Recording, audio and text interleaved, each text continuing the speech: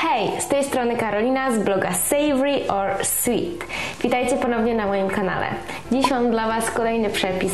Przepis typowo związany z Wielkanocą. Święta już tuż, tuż, dlatego czas, by trochę pokombinować w kuchni i wyczarować sobie dania, które będziemy mogli zjeść w wersji wegańskiej na Wielkanoc wraz z naszymi bliskimi. Ja w tym roku będę serwowała żurek. Jak się okazuje, wegański żurek to jest sprawa znacznie prostsza niż mogłoby się wydawać. Mój żurek jest na wywarze warzywnym z dodatkiem wędzonego tofu i zakwasu żytniego, tak jak tradycyjna wersja. Mój przepis jest praktycznie beztłuszczowy, potrzebujemy tylko kilka łyżek oliwy, by podsmażyć tofu. Yy, nie dodałam również żadnej mąki, by zagęścić moją zupę, ponieważ zblendowałam część ziemniaków, co sprawiło, że jest ona taka kremowa, gęsta, tak jak prawdziwy żurek.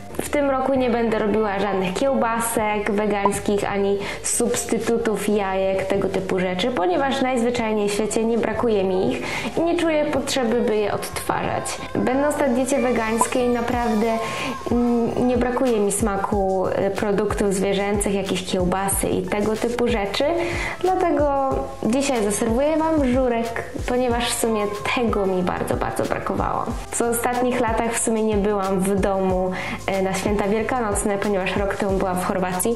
Dwa lata temu akurat byłam w domu, ale trzy lata temu spędzałam ten czas w Turcji, tak więc totalny kosmos. W tym roku jednak będą to rodzinne święta tutaj w Polsce, stąd też żurek. Mój żurek smakuje naprawdę tak samo jak y, tradycyjny żurek. Naprawdę. Y, wędzone tofu, wcześniej odpowiednio przysmażone, tak doskonale imituje jakby smak takiej wędzonki, że na serio będziecie pod ogromnym wrażeniem. Ja przed chwilą poczęstowałam takim żurkiem osoby, które jedzą mięso normalnie, codziennie i w sumie, gdybym nie powiedziała, że jest wege, to pewnie może nikt by się nie zorientował. Tak więc jest to chyba ogromna zaleta. Więc zapraszam Was do przepisu. Mam nadzieję, że się Wam spodoba i sami zobaczycie, że żurek to naprawdę nie jest nic trudnego. Na początek włóż do dużego garnka seler, cebulę, marchewkę, pietruszkę, czosnek, liście laurowe, ziele angielskie oraz ziemniaki. Połowa z nich powinna być przekrojona na pół, a połowa w całości. Następnie wszystko zalej trzema litrami wody i wybierz odpowiednio duży garnek, by nie musieć przelewać tak jak ja. Doprowadź do wrzenia i gotuj przez około 30 minut, aż warzywa zmiękną. Podczas gdy Twoje warzywa się gotują, pokrój na drobną kosteczkę wędzone tofu i przysmaż na kilku łyżkach oleju. Tofu powinno być bardzo mocno przysmażone, potrwa to kilka minut. Jeśli mocno je przysmażymy, wtedy nie będzie nam się rozwalało w zupie. Po tym czasie wyjmij część warzyw. Ja wyjęłam seler, marchew i ziemniaki, które wrzuciłam w całości. Ważne jest również to, by wyjąć Twoje ziele angielskie i liście laurowe.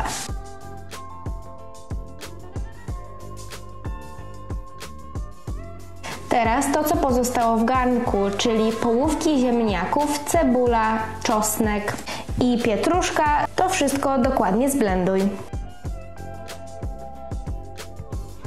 Następnie dodaj zakwas. Ja w tym momencie dorzuciłam jeszcze resztę pietruszki, która została oraz kawałeczki cebuli, które przez przypadek wyjęłam.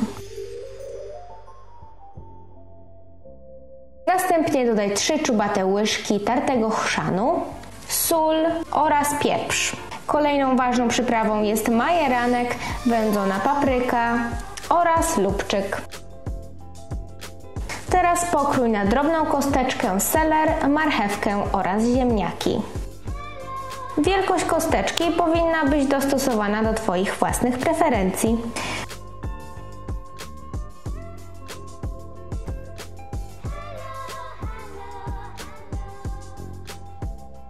Wrzuć pokrojone warzywa do wcześniej zblendowanej zupy.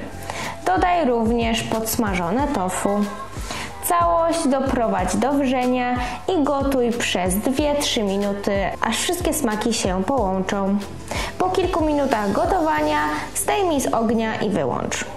Teraz Twój żurek jest gotowy i możesz go podawać. Jest to naprawdę fantastyczna zupa i bardzo podoba mi się to, że nie trzeba dodawać mąki, by ją zagęścić. Żurek jest bardzo pożywny i dodatek tofu zapewnia, że jest ona naprawdę bardzo sycąca.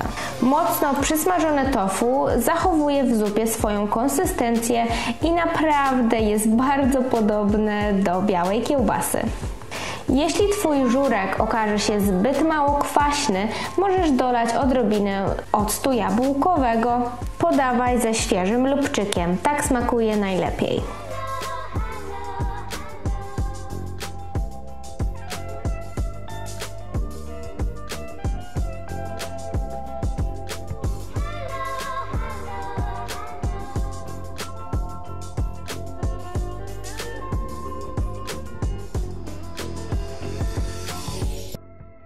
No dobra, to wszystko na dzisiaj. Mam nadzieję, że przepis się Wam spodobał i że go wypróbujecie. Nie zapomnijcie wydać łapkę w górę, jeśli ten przepis się Wam spodobał i zasubskrybować mój kanał, jeśli jeszcze tego nie robicie.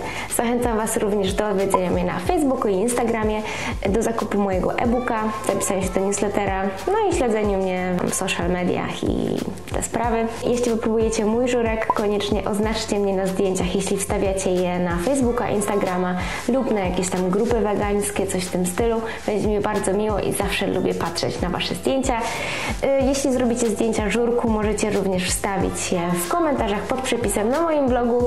Będzie mi bardzo, bardzo, bardzo miło. Tak więc smacznego wege żurku. Dajcie mi znać, jak się Wam podobało. No i wydaje mi się, że to już jest ostatni film przed Wielkanocą, tak więc chciałabym Wam życzyć rodzinnych świąt w takiej spokojnej i wesołej atmosferze. I widzimy się już niebawem w następnym filmie.